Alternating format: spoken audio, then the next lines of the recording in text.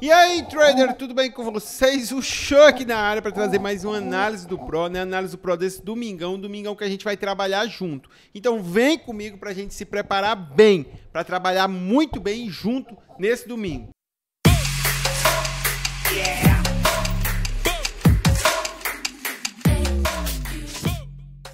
Começamos já com tudo, cara. Sabadão foi bom, a gente trabalhou junto. Se você perdeu a oportunidade de vir pegar uns gols comigo, cara, a gente lucrou aí nesse sábado. Então, fica aqui nesse vídeo que eu vou te dizer como é que você pode trabalhar comigo, como é que a gente vai, se Deus quiser, lucrar junto nesse domingo. Mas antes você tem que estar preparado. Então, fica nesse vídeo, deixe seu like que a gente vai se preparar bem. Começando 8h15 da manhã com o Trash e PSV. Cara, esse jogo eu não vou falar muita coisa. Olha aqui só o PSV. Vou nem falar, não. Meu Deus do céu, cara. 17 jogos, 17 vitórias. Fora de casa, os caras ganharam tudo e só tomaram dois gols e fizeram 30 gols. Tem como não dar, ficar de olho num time desse? 1,33 a odd, cara, pra mim tá estranho. O mínimo que eu digo é estranho. O Tret, que não é essas coisas todas, ah, show, tem duas vitórias, não tem derrota aqui. O time tem quatro empates nos últimos jogos uma vitória. O outro tem só vitória e massacrando e dando porrada em todo mundo. Mano, essa odd do PSV tá esquisita. Mas, vamos levar pro live. Se vier com time bom, jogando bem, meu filho, rapaz, é para fazer, é para pegar esse lei. Tem tudo, tudo, tudo para ser um excelente jogo pro lei. Tem tudo. Esse aqui para mim é um jogo de destaque logo de manhã cedo. PSV muito forte, vem muito bem.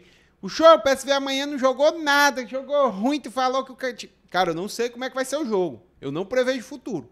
Agora que eu pego as estatísticas, pego o que eu tô vendo dos últimos jogos e tento é, prever possíveis cenários. Para mim, cara, amanhã é para ser um massacre do PSV, porque eles são uma máquina. Eles são uma máquina na Holanda. Isso aí é fato. Segundo jogo, vamos ter Leeds e Preston. Cara, o time do Leeds que não é um time ruim, mas também não é aquele time bom, que dá um padrão do jeito que a gente gosta. E vai pegar o time do Preston, que para mim é um timezinho bem fraco, não tem uma boa tendência, não tem muita força. Quando a gente olha aqui, o time do Leeds vem aqui em quarto colocado, é um time que está melhorando, que está vindo numa crescente, o time do Preston em décimo segundo. O Leeds dentro, de casa se mantém, e é um time que não perdeu, eu gosto muito disso. Se mantém um time muito consistente dentro de casa. E vai pegar um time que, como visitante, também não tem conseguido muita coisa. Quatro vitórias, três empates, seis derrotas. Então eu vejo um jogo com a tendência boa para o Leeds. E as races mostram isso. A gente vê aqui quatro vitórias e um empate para o Leeds e três derrotas, um empate e uma derrota aqui para o Preston. Então, um jogo que chama minha atenção, essa odd aqui, achei um pouco alta, acho que esmagaram um pouco demais a odd do Leeds, acho, mas vamos ver no live se ele joga isso tudo que o mercado está esperando. Se ele jogar, botar esse Preston para trás e massacrar, a gente vai dentro. Se não, vamos para o próximo jogo. Espera a oportunidade, calma e paciência. Fenerbahçe e Sanzuspor, outra máquina aqui da Turquia, não tá igual o PSV, né? Que o PSV tá fora dos parâmetros, cara, não existe. Tá um negócio espetacular. Mas vem com 17 vitórias também, só que com dois empates e uma derrota. E vai pegar aqui o Sanzuspor que tá tentando ali, uh, fugindo, quase se afogando, mas tentando sair da, da zona de rebaixamento. E, cara, olha esse time como visitante. Um empate, uma vitória e oito derrotas. É, não, não, não dá pra gente não falar que hoje o, o pior, o pior mandante era o pior. Esse Pendikspor goleou o Besiktas. Então a gente não pode brincar. Tem que ficar atento, abrir o olho na hora do jogo, ficar atento. Mas, cara, o Fenerbahçe tem tudo para ganhar esse jogo. As estatísticas estão todas pro lado do Fener. É um mandante muito bom. Tem um empate e uma derrota só, mas é muito forte dentro de casa. Vem com races excelentes aqui dentro de casa, ó. Ah, o show tem uma derrota aqui. Beleza, deu um vacilo ali, um vacilo, um empate aqui nos últimos cinco jogos, mas bastante vitória. Olha o Sanzuspor, cara, praticamente só derrota. Então, tem tudo aqui para ser um padrão. A odd já tá ali no limite. Quase não tendo odd pra gente. Trouxe aqui porque talvez dê para aparecer uma oddzinha, às vezes não começa com tanta intensidade, a gente consegue ainda achar alguma coisa. Se a gente achar, a gente trabalha. Se não, também passa para frente e espera outra oportunidade. 10 e meia da manhã vamos ter outro holandês que é o Vitesse contra o Feyenoord. Cara, o Feyenoord que vem aqui como vice-líder, outro time muito poderoso, só não está disputando com o PSV porque está com 12 pontos de diferença. Aqui a disputa já é pelas as segundas colocações, que o campeão já é certo. O time do Feyenoord Daqui também é um time que vem muito bem, é um time que é muito bom dentro de casa, também é muito forte fora de casa, só tem um empate uma derrota, 24 gols feitos, 8 tomates. E vai pegar aqui o time do Vitesse, cara, que no geral tá aqui é, vice-lanterna, um time que não vem fazendo muita coisa, 12 pontos, bastante dificuldade. Dentro de casa é o pior mandante do campeonato, só tem 6 pontos. Então, um time muito fraco, tudo indica. Opa! Tudo indica aqui para ser uma vitória tranquila do, do Finals. Então, para mim, é outro jogo para trabalhar esse Lei Vitesse também com a odd já no gargalo. Volos e Paok. Cara, que a gente já tem uma odd melhor, uma odd que eu gosto de trabalhar, gosto bastante desse Volos e Paok. E a gente vai pegar aqui o líder do campeonato grego contra o 12. Me admira essa odd. Eu sei que é fora de casa, eu sei que o Paok não é dos melhores visitantes, mas não é um time ruim e é um time que vem mostrando melhoras. O Palco é um time que está numa crescente. Quando a gente coloca aqui dentro e fora de casa, ah, o Chua perdeu aqui, tem duas derrotas. Cara, perdeu pro Ares, que é um time muito forte, um time muito capacitado. A gente olha o time do Volos aqui, também não tá bem. Eu acredito no Paok e eu gosto da odd. Então, para mim, amanhã, 11 da manhã, pode ter certeza que eu tô de olho aberto, procurando esse Leivolos. Se encaixar, meu filho. Ah, papai. Aí o Paok fizer o golzinho, aí a gente estoura mesmo. A gente... Vamos para cima. 12 horas da manhã. Lembrando que, ó, eu amo campeonato grego, cara. É um campeonato que paga demais. Eu acho que é um dos meus mais lucrativos. Por isso que eu tenho essa, esse amor, esse carinho quando eu falo do gregão. 12 horas vamos ter a Liga Jupiler. Lá na Bélgica vamos ter o Union Sanliose, líder do campeonato contra o Santruider. Liga Jupiler que já deu padrãozinho no sábado. É, sábado a gente pegou o golzinho do Bruges, o Lei Westerlo, pegamos. Ora, quem tava lá no Discord forrou com a gente. Golzinho, cara, difícil, viu? Padrãozão bom, papá, bruxo, botando pressão, indo pra cima, bem. Aí o padrão acabou, acalmou o jogo. Depois o Bruges começou de novo. Eu vi uma leitura ali no mercado que o mercado estava baixo. Pegamos, pegamos, ficamos tranquilo, sem correção. E até o Bruges achar o gol. Foi bem legal. Acho que deu o pessoal extrair bastante conhecimento. E você também vai poder fazer isso no domingo. Vamos lá. União Sanliose, líder do campeonato, 15 vitórias, 3 empates, 2 derrotas. 44 gols feitos, 20 tomados. É um time bem over, mas também toma bastante gol, quase que um gol por jogo. Como mandante, cara, muito forte. Vice-líder é, vice aqui, comandante, mas um mandante muito forte. Toma um pouco menos de gol aqui em, é, fora de casa e faz bastante dentro de casa. E vai pegar o Santruident, cara. Time oitavo colocado, não é de um time ruim se a gente pega aqui o Bruges, que estava jogando contra o Estelo, já é um time mais fraco. O time do Santruid não é um time de todo ruim, né? A gente tem que ter essa consciência. Como o visitante vem aqui perdendo muito pouco, empata a maioria dos jogos, então pode tentar dar uma dificultada, mas eu acredito que o time do San Giloás é um time muito mais forte, muito mais capacitado e lembrando, veio com uma boa odd. Então, com certeza é um jogo que vale a pena a gente estar tá atento pro live, levar pro live. O Choto disse que vamos levar tudo pro live. É assim que a gente trabalha, meu querido. Trader esportivo é assim, a gente faz os cenários e tem que assistir o jogo, porque a gente trabalha no live. A gente precisa dos insights de leitura de jogo para estar tá se posicionando no mercado, para estar tá entendendo. O show não entendi esse teu método Lei Zebra. Cara, olha aqui, ó, ó, ó, é ali, né, aqui. Ó aqui, ó. Bem ali vai ter o linkzinho para você estar tá acessando lá o método do Lei Zebra e estar tá aprendendo. Real Madrid Almeria. Não veio o mas eu queria falar desse jogo para vocês. Estourado demais, Real Madrid vem muito bem, forte. Acredito na vitória do Real, mas não tem odd pra gente trabalhar esse Leal Almeria. Provável líder do campeonato contra pior time que não ganhou de ninguém. É difícil ter odd mesmo, aqui não dá. Vamos pular, né? Trouxe só para vocês terem essa noção aqui, não podia deixar ele de fora. Astromitos e AEK, cara. Cara, o time do AEK é um time bom. Um time aí que vem fazendo uma campanha aqui legal, terceiro colocado.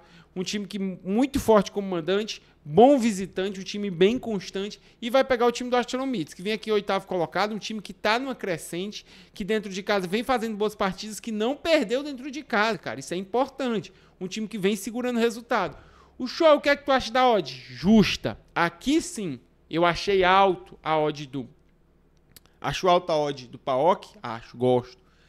Acho boa ali a odd do. Qual foi o outro grego que eu falei? Ah, foi só o Paok, por enquanto. Vou falar do outro que eu também achei a odd boa mais tarde.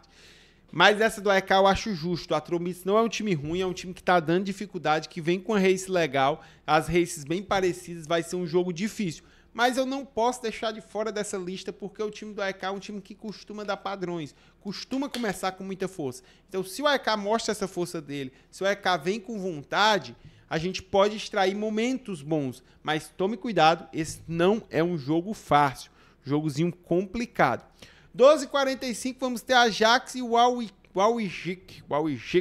Cara, o time do Ajax. Ah, o Ajax. O Ajax tá ruim esse ano, não presta. Cara, o time do Ajax tá pegando o ritmo, tá voltando devagarzinho. Não é aquela máquina. Mas tá voltando aí, já tá em quinto lugar, encostando ali. Vacila, Zé. Vacila, Twente, pra tu ver se o Ajax não cola. Hum, digo nada. Cara, o Ajax é um timezinho bom.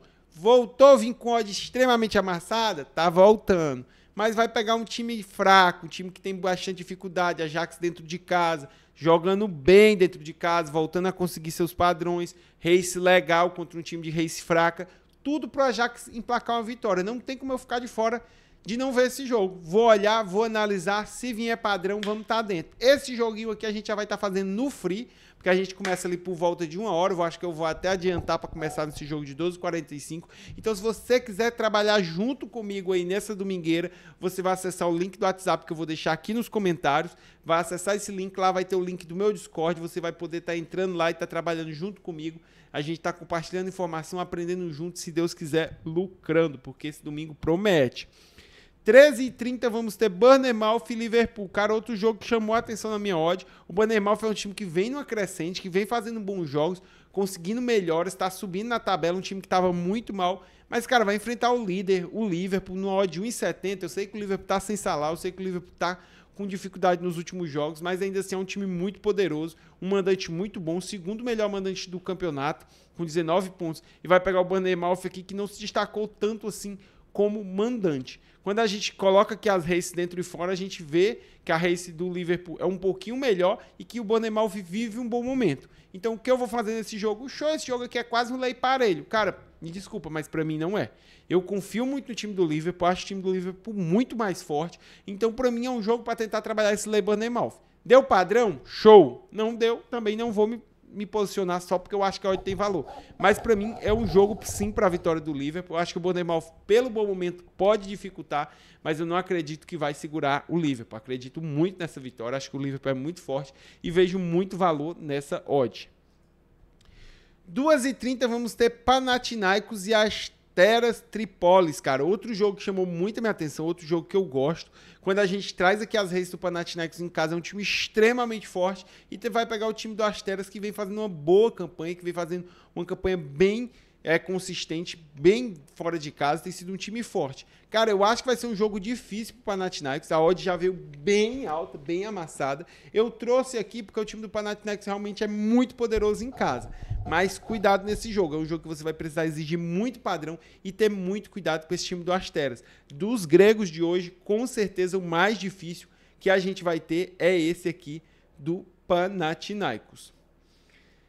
Let Juve é outro jogo que eu trago. O time da Juve, cara, é um time que tá vindo muito bem esse ano, voltou a jogar bem, tá aqui encostado com a Inter, tem a oportunidade de assumir a liderança. Isso mesmo. Se ganha esse jogo aqui, assume a liderança, mesmo que seja provisória, porque a Inter vai ter uma rodada a menos, mas assume a liderança. Então, um jogo importante que já bota uma pressãozinha na Inter, mostra que a Juve tá colada. Então eu tenho certeza que a Juve vai vir com muita força nesse jogo. Segundo melhor visitante, um visitante forte, consistente, a Juve vem conseguindo seus placares, não dá muito padrão. E nessa odd, cara, me desculpa, uma odd que me parece de muito valor, vendo todo o quesito do jogo. O time do Lecce é aquele time mediano, tá tentando se manter mais um ano na Série A italiana. É, não é um time muito forte, não vem de jogos muito bons. Quando a gente coloca dentro e fora de casa, realmente a race do Let melhora muito dentro de casa, ele já perde bem menos, empata a maioria dos jogos e tem até algumas vitórias, mas vai pegar um time que vence quase todos e que não perde nos últimos cinco jogos. Então, eu acredito muito nessa vitória da Juve, gosto muito da odd e para mim é um jogo para tentar achar o momento do Leilete. Eu acho a Juve poderosa, forte e eu quero buscar esse lei. Acho que a Juve tem uma bola parada muito boa e pode ser muito bem aplicada dentro desse jogo. 5 e meia vamos ter Vitória de Guimarães contra o time do Estrela. Cara, o time do Vitória de Guimarães vem fazendo um bom ano, uma boa campanha. Quando a gente coloca que a race do Vitória de Guimarães dentro de casa é uma race excelente, vem de três vitórias nos últimos jogos, tem uma derrota aqui e outra vitória. Enquanto o Estrela vem de muitos empates, uma derrota e uma vitória. O time do Estrela também não tá tão mal assim de race. Mas vai pegar o time do Vitória, cara, que é um dos melhores mandantes do campeonato, acima até do Porto, acima do Braga, grandes times, a gente sabe disso. E o time do Estrela aqui, como visitante, não está perdendo muito, mas também não ganha.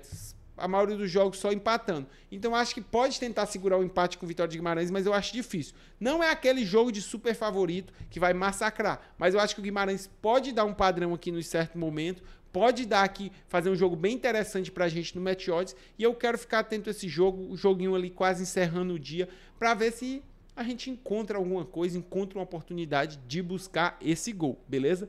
No Lei Parelho, somente dois jogos chamaram minha atenção. Opa! Ó, já tem um. É só um. Esse aqui ficou no Lei Zebra e no Parelho, porque ficou na dúvida. Aí ficou, foi nos dois. Ares Tesla Nox. Meu Deus do céu. Ares contra Olympiacos, pessoal, me desculpa. Cara, o time do Ares é um time bom, que vem fazendo boas partidas, que vem vindo com boas reis e vai enfrentar o time do Olympiacos, que também é outro time bom, que tá sofrendo as dificuldades e tal. Olha as reis, cara, jogo muito parelho, muito difícil.